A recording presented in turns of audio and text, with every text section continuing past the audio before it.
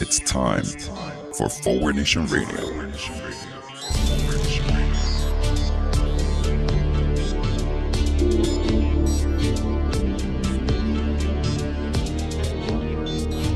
Now here he is, the host of Forward Nation Radio, David Leventhal.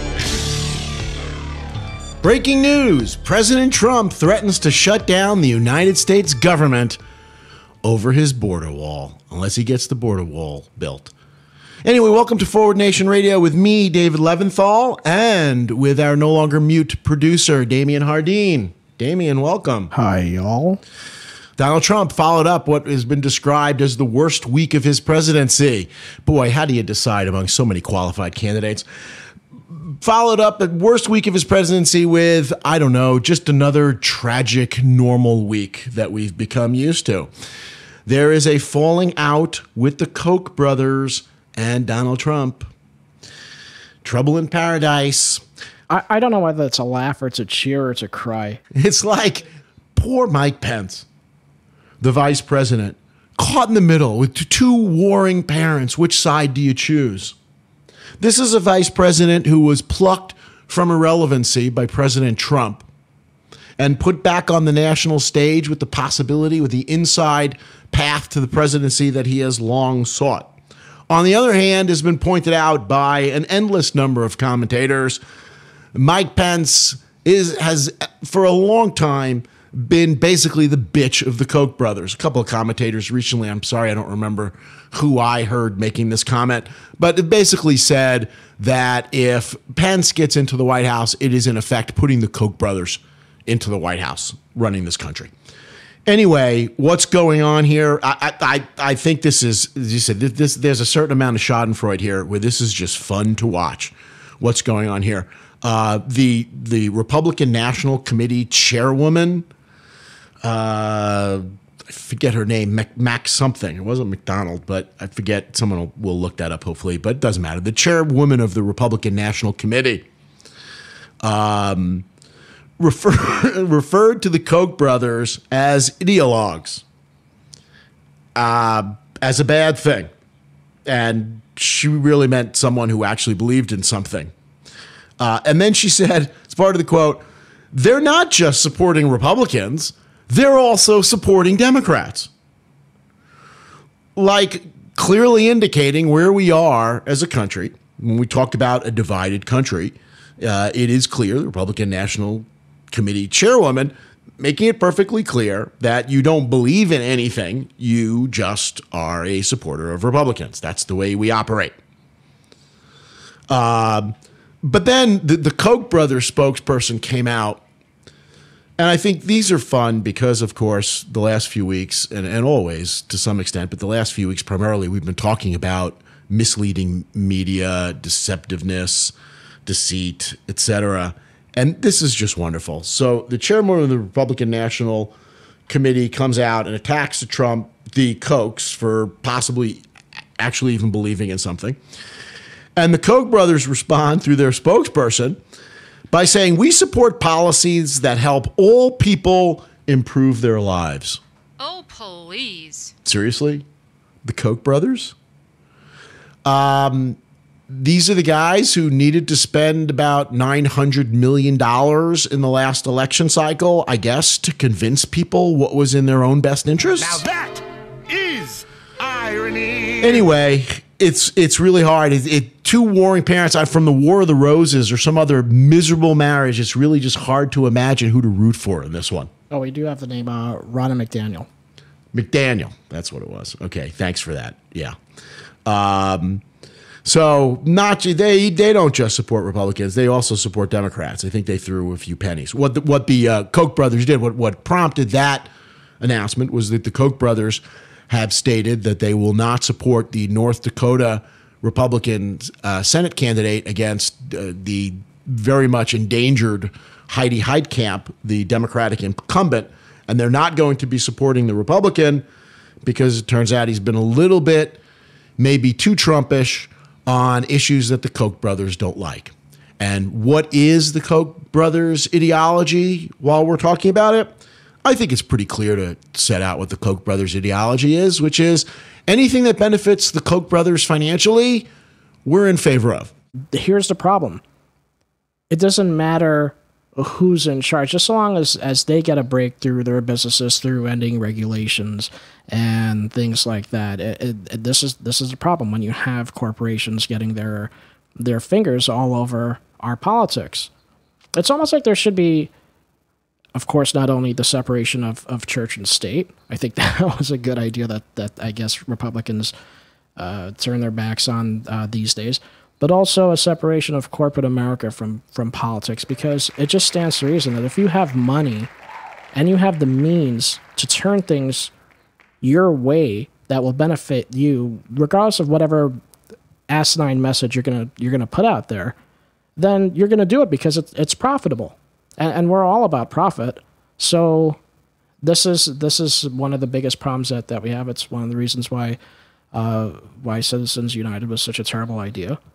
Right. Well, as of in in a month or so from now, when Brett Kavanaugh's presumably been confirmed to the United States Supreme Court, we hold out hopes, but not a lot of hopes, uh, because we see how things work in politics. And I, as I've argued on the show before, Republicans will, I believe, come in line when they are told that they need to come in line. They'll Rand Paul it. They're, they'll manage to, yeah, they'll be their kids' futures will be threatened or or pro- uh, promises will be made. I, I, said, keep taking a look at how Anthony Kennedy's kid does for a while now. Yeah, but but we need everybody to go ahead and call their representatives and let them know how they feel about this because there are certain very common sense things that, that are on the ropes here with with uh, with Kavanaugh's uh, nomination. Correct, including what you just said, which is if Kavanaugh gets on the United States Supreme Court for at least 10 years or so while Clarence Thomas is still on, there will be absolutely no hope of improving the, the system of money in politics and reducing corporate influence in politics.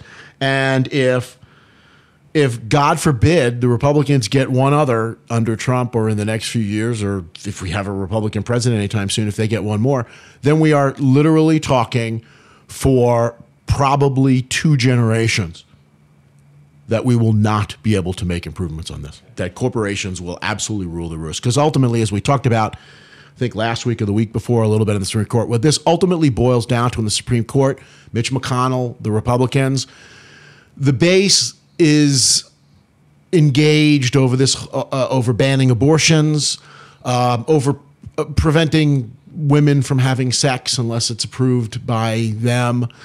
Uh, but ultimately, what the Republican Party is all about is not any of those social conservative issues. They just want the money. And they just want basically to promote the corporate agenda, which the Supreme Court will reliably be doing for the rest of my lifetime. And it, it seems like maybe one of the most important things is that this is a this is a nominee, Kavanaugh, who has come out publicly and said that he doesn't believe that that a president should even be investigated, much less in, indicted basically. And that's uh, that's an issue. Whether you love Trump now or or later, is that something that we want to have going forward for any president? Is to is so that they're not is so that they're not held accountable when the rest of the planet, or I shouldn't say planet, but at least in this country, is held accountable. There's such a thing as as the rule of law, and the rule of law states that no one is higher than the law. We're not a monarchy we've obviously heading towards a towards a kleptocracy if we're not there already. But the rule of law means that nobody is above the law. So you can't have it where, where your president is is held to a different standard than everybody else. Well, as we were just talking a little bit before the show, I think, and and again, this has been in the last few shows that we've had. I think accountability and responsibility are such buzzwords, are such are such keywords in this case Republicans love to talk about personal responsibility and how they're the responsible party. Sure, when it comes to children eating, they're all about personal responsibility, but basically the whole conservative agenda is for wealthy people and corporations to not be responsible. But we need a show me the money sort of uh, uprising here, where it's like if you're going to talk to talk and you're going to you're going to lay claim to that being one of the uh, pillars of of conservatism or, or being a Republican, then they need to show us that that's actually what what they're supported by, not just talk about it. And that's that's the issue. I brought up Rand Paul before because Rand Paul is notorious for saying, no, I, I don't think I want to do this. I, I'm probably going to vote against the president. Yet he never does. and then caving, When- right? As right. he did a couple of times, very noticeably, Right, A he- little earlier in the Trump administration. he wanted to be prudent, which is a good thing. But here's the thing: he wanted to be prudent with the selection of Kavanaugh, and he said, "Well, you know, there's certain things that, that are flying across his radar that he doesn't like." But then he came out and said, "Yeah, you know what? I'm going to go ahead and vote to to confirm him anyway." What's the point? Why are we always giving these folks a free pass? They figured out how to play us at this point. All you have to do, and this is the playbook, and you try you try doing this too, eh, but I have to warn you, if you go ahead and you do this, people are going to start to look at look at you funny because for some reason everybody is being held to a different accountability than the president is. But try this at home, or maybe not try this at home. I don't want to cost anybody their their jobs. Just go ahead and say the things that are that sound politically correct, but but that are politically correct, but do the exact opposite or do different things and see where that gets you. I don't understand why we tolerate that. Know, we, we talk about the tribalism, and I, it's it's perfectly clear at this point. The Republican Party works in lockstep, whether it's promises or threats. The Republican Party steps into line right now. They might occasionally speak whatever dissent they might have. You'll hear Susan Collins and Lisa Murkowski talk about preserving abortion rights. But ultimately, the history says that when push comes to shove, they will fall in line. They will be told to fall in line. You know, it's ironic. This, is this is turned around somehow to become a positive for Republicans.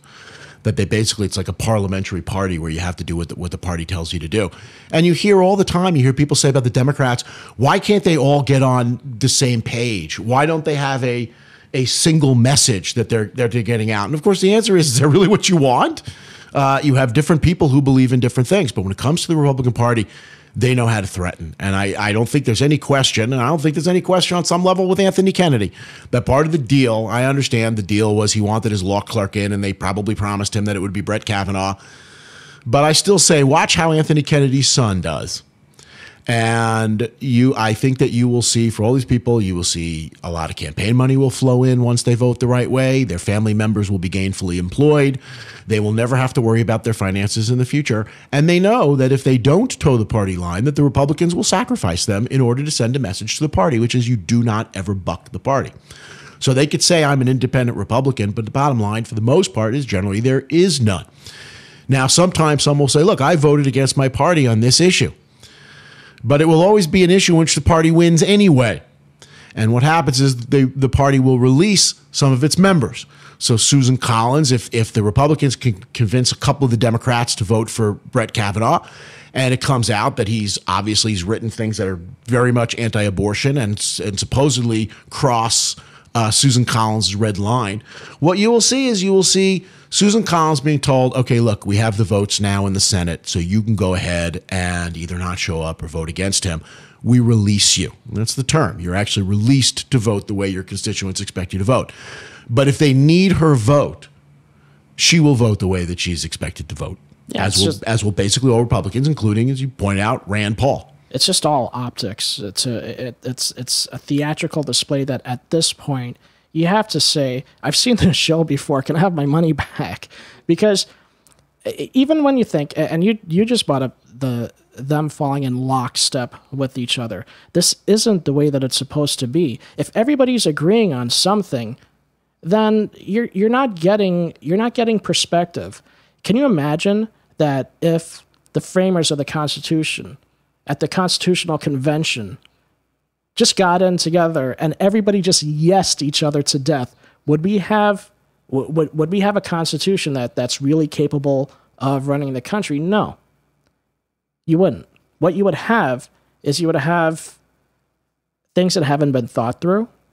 You would have basically no reason for, for other opinions. You just basically put the alpha person in charge and then just have a bunch of people saying yes. I mean, you can have one person with eight actual bobblehead dolls, bobblehead dolls, and they can say whatever, and he can go ahead and bang all the little bobblehead dolls and accomplish basically the same thing of, as what Trump is accomplishing with, with his Republican base right now. It's a bobblehead thing. Yeah, anyway, to say to show how we how far we've come full circle and the whole and why we've become such bobbleheads. You know, for much, much of this country's history, while the parties were somewhat distinct, there was obviously a lot of overlap, and there were a lot of issues. It, it didn't used to be that every bill had basically every vote, Democrat voting against it and every Republican voting for it, or vice versa. It was it was way more mixed, as one would expect it would be. No matter what your political affiliation, there are some issues where you're going to be more on the other side than on your side. But that's not the case anymore. Now we've come full circle. The reason that hasn't been the case for a long time. I think I think the primary motivator for, this is that uh, money had to be laundered through our campaign funding system, the, the way it was set up for a long time. Money needed to be laundered through national political parties. And that made the national political parties spectacularly powerful with respect to the people within within the parties. And so we had talked many weeks back on this show about the Republican senator from Washington. I forget her name. This was this was a while ago that she supported campaign finance reform at a time when McCain Feingold was being debated, and it was actually there was actually an issue of, of campaign finance reform being enacted, and the Republicans, of course, did not want campaign finance reform being enacted because they do better with money in politics generally. And this Republican senator said, "I my people overwhelmingly, my constituents overwhelmingly support campaign finance reform." And I have to back them up on this. I have to vote with my people. And she was told by the Republican Party, if you do that, uh, we will we will not give you any money. We will not provide you with any of the slush funds that we have, basically any of the laundered money that goes to the national political party. And she said, if you do that, I'm going to lose. It's a close election, and, and you're going to get a Democrat in. And basically called their bluff. And they weren't bluffing. And they wanted to prove them. They said, we would rather lose and have a Democrat take that seat than have a Republican take the seat and send the message that you could sometimes buck your party and get away with it. I think recently uh, Democrats have learned uh, from this as well, where they're letting some of the Democrats just go ahead and, and in, in my opinion, really represent the people of, of their state, which is to say that, yeah, they don't have to be in lockstep with everything that that that whatever the the ideal Democratic pillars are. Um, if there's some differences, fine. And, and when you think about it, that's kind of the way it's supposed to work. Your representative is supposed to represent you if you're a part of the, the state.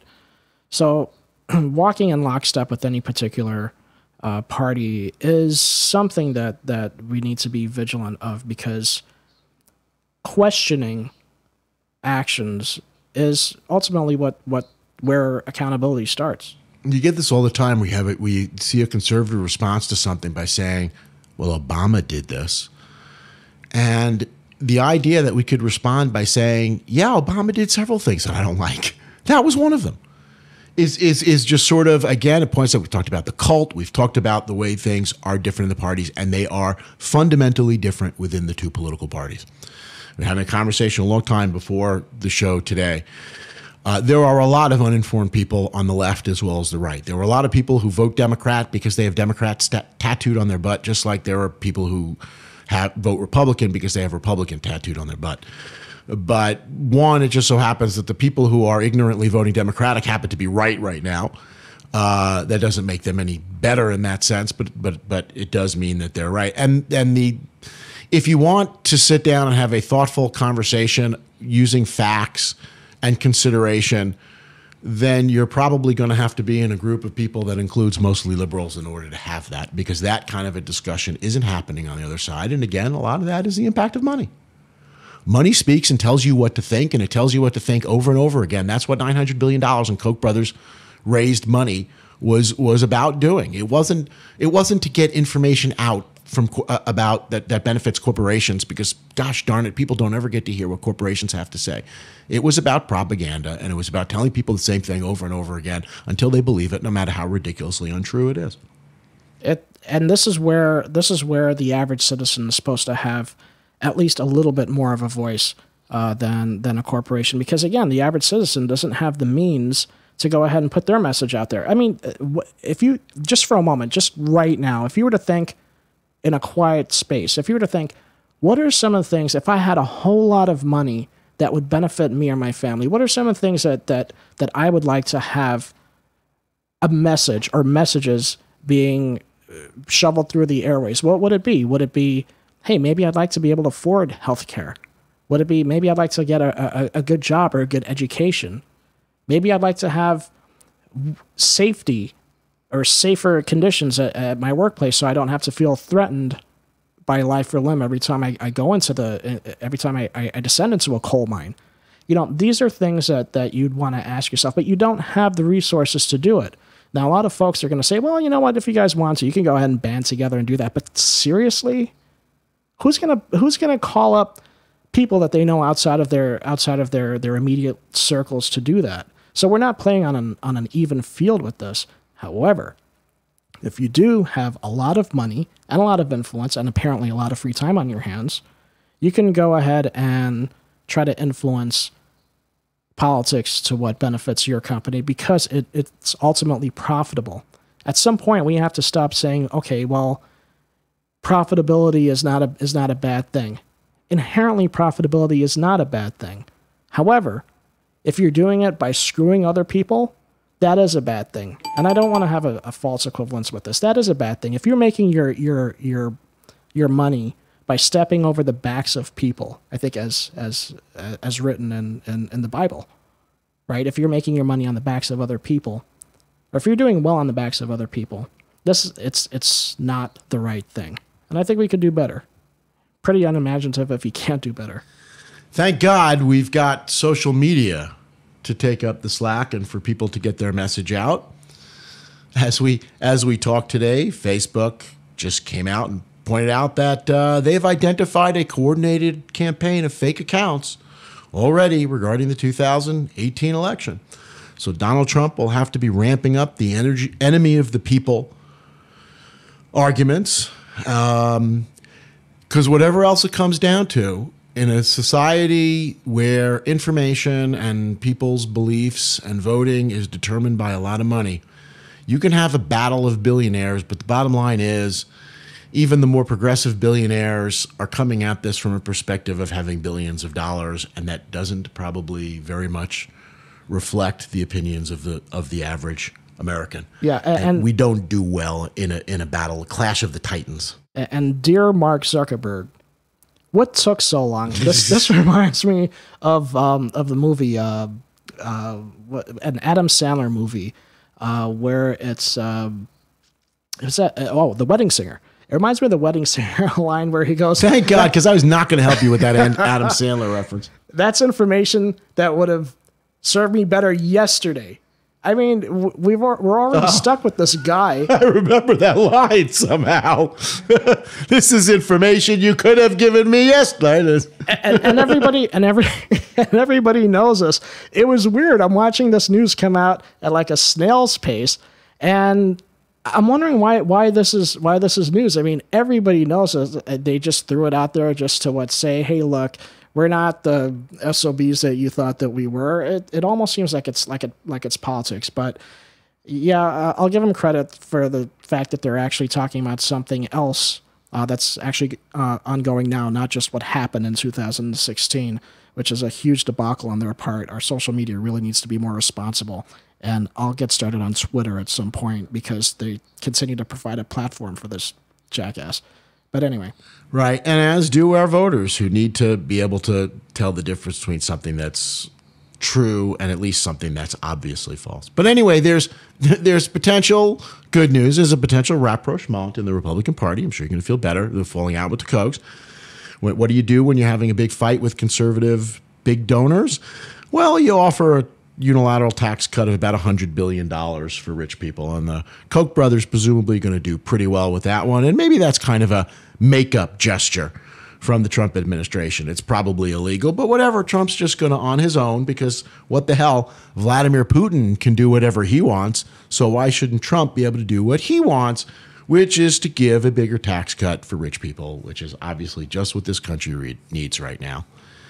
Anyway, speaking of Vladimir Putin, before we leave, because we're we're running out of time, but it would be remiss not to talk about some of the latest comings and goings and to try for our viewers who are only casual observers to, to the Russia story to get to, to give some idea what's actually happening. And basically, with the the Mueller investigation regarding Russia, leaving out financial impropriety, which we're not even sure how much Mueller is looking into the fact that Trump is basically a blatant money launderer and, a, and an international criminal. But when it comes to Russia, you've got primarily collusion and obstruction, right? It comes down to basically those two issues. Collusion, meaning that the now president of the United States, when he was seeking the presidency, worked with a hostile foreign power, Russia, in order to try to, in effect, steal the presidency, to wrest the presidency from somebody else, to confuse the American people, whatever else. That's the collusion aspect. That's that part of that claim of, of what's being investigated. And that's the one that most people are expecting. We're not anywhere near an imminent conclusion of the Mueller investigation, that that's going to come out after sometime after the 2018 midterms. And of course, this week the big news is is Michael Cohen uh, apparently testifying that the that Donald Trump knew about the Trump Tower meeting with the Russian officials. That that uh, Trump knew about the the Trump Tower meeting with Donald Trump Jr. with someone pointed out Shocking to believe that there was a meeting involving the president's son and the president's son in law, two of his closest aides, about stealing the election and Russia getting help in the election. And somehow, is it possible Donald Trump actually did know about it? Well, according to Michael Cohen, to the surprise of nobody, no one. It looks like this could, yeah, I mean, this is some pretty serious stuff that Donald Trump knew about this meeting beforehand and went and sent his his sons to the meeting to collude with a hostile foreign power against U.S. law. And of course he did. Nothing's happening in that in that administration that doesn't go past Donald Trump. Guys, you got to be you you really have to have to be that gullible to think that oh his son just his sons and, and members of his administration just took it upon themselves to to go to a meeting uh, in, involving uh, the the Russian oligarchs. Are you arguing that Junior doesn't have a real independent streak? I think he's got a, a real grease streak that's running through his hair, but that's about it.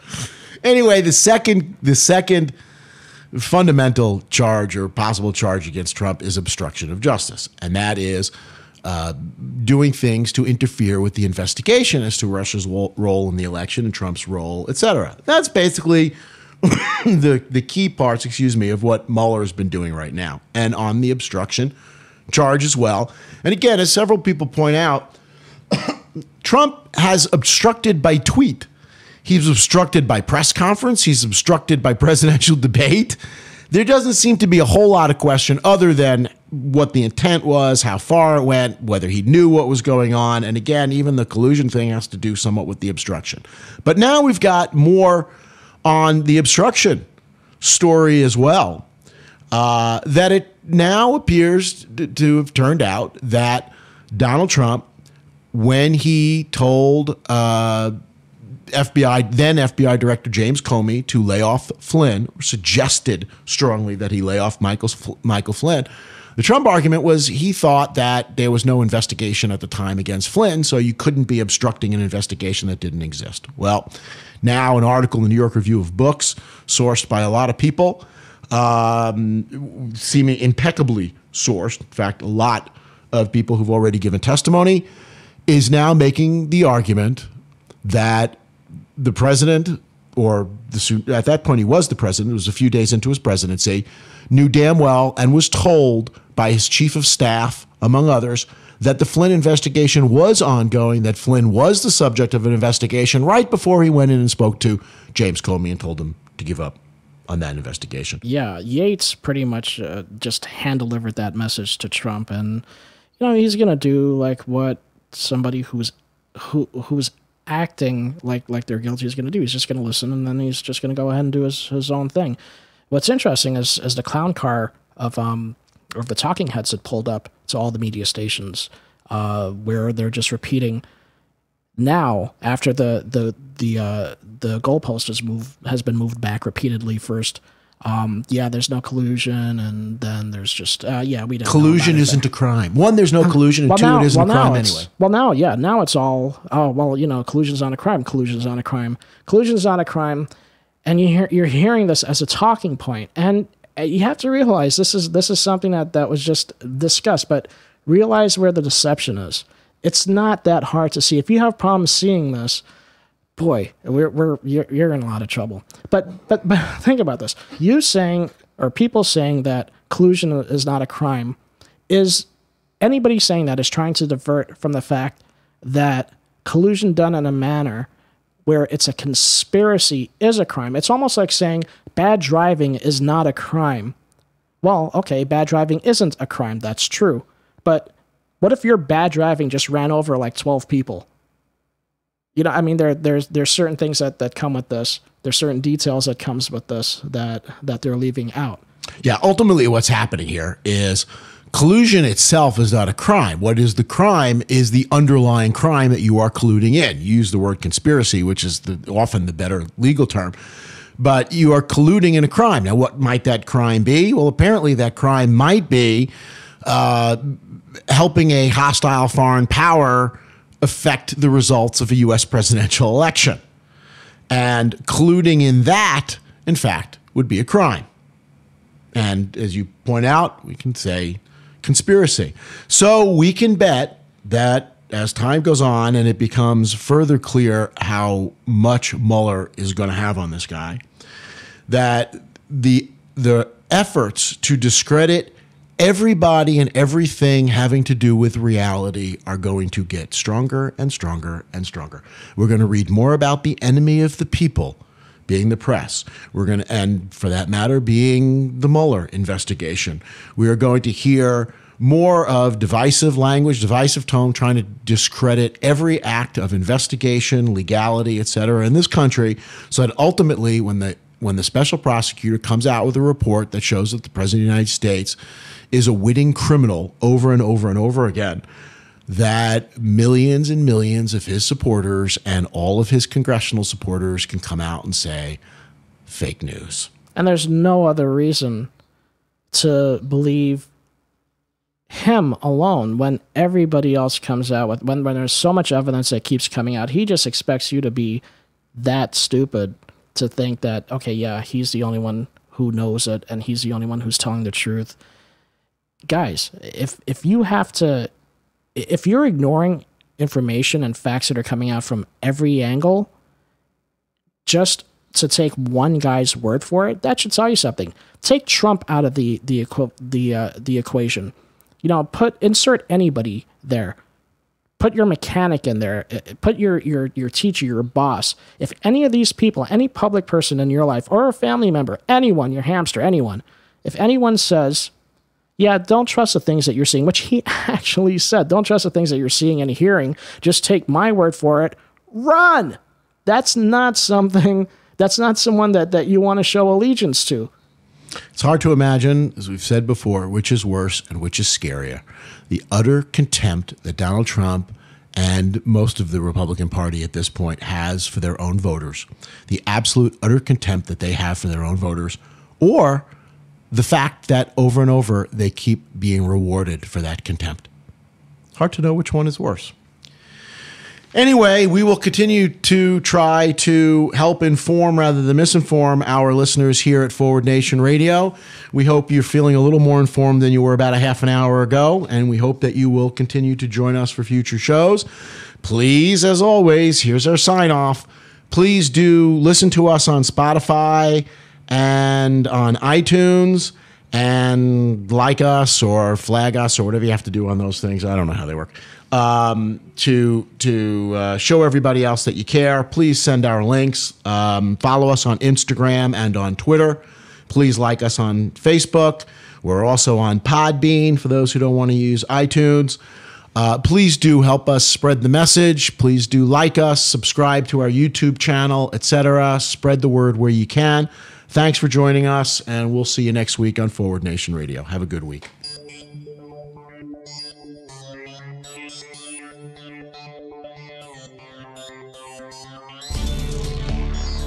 You've been listening to Forward Nation Radio with David Leventhal.